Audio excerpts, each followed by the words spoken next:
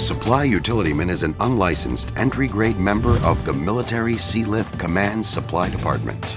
In this position, you will perform general hotel services, food handling and preparation, serving meals, and laundry duties.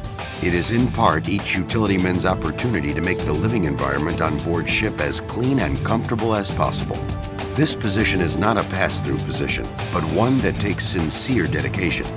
During underway replenishments, you will help man underway replenishment rigs on all classes of MSC civil service crewed ships. It is a great stepping stone for a variety of positions on board ship as well. As one of three entry-level positions MSC hires for, there is steep competition, so be thorough in completing your application.